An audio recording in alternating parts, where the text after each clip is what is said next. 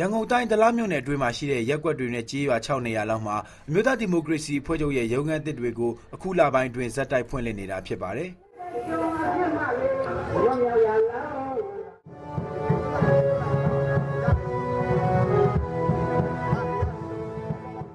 မတ်လ3ရက်နေ့မှာတော့ ဒလမြို့နယ်အတွင်းမှာရှိတဲ့မှော်စက်ရက်ကွက်မှာ အမျိုးသားဒီမိုကရေစီအဖွဲ့ချုပ် ဆိုင်းဘုတ်တင်ပွဲနဲ့ ရုံးခန်းသစ်ဖွင့်ပွဲ အခမ်းအနား ပြုလုပ်ခဲ့ပါတယ်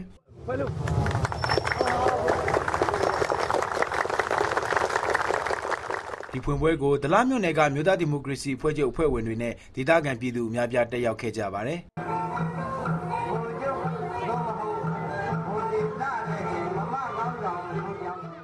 ဒလမြို့နယ်တွင်အခုလို ရုံးခန်းသစ်တွေ ဖွင့်လှစ်တဲ့ လှုပ်ရှားဆောင်ရွက်မှုတွေမှာ ရဲအထူးသတင်းတပ်ဖွဲ့ SB တွေက လိုက်လံနှောက်ယှက်တာတွေ ရှိနေတယ်လို့ အဖွဲ့ချုပ်အဖွဲ့ဝင် ဦးထွန်းရင်က ဆိုပါတယ် အထူးသဖြင့် ကျွန်တော်ပြောချင်တဲ့ကိစ္စအာဏာပိုင်ဖွဲ့စည်းခြင်းနဲ့ ပတ်သက်တဲ့ကိစ္စကို ပြောချင်တယ် ကျွန်တော်မျိုးနေမှာ အထူးသဖြင့် SB ဖွဲ့စည်းတာအများဆုံးဒါကျွန်တော်ရဲ့ လုပ်ငန်းရှင်တွေမှာ ဝင်ရောက် ဝင်နောက် နှောက်ယှက်တဲ့ အနေအထားတွေကို ကျွန်တော်တွေ့ရတယ် အဲ့တော့ အထူးသဖြင့် ကျွန်တော်စံပြရက်ွက် မှာတစ်ကြိမ်နောက်တော့ကျွန်တော်ရခိုင်ကြောင်မှာတစ်ကြိမ်နောက်တော့ရွှေလေးကြောင်မှာတစ်ကြိမ်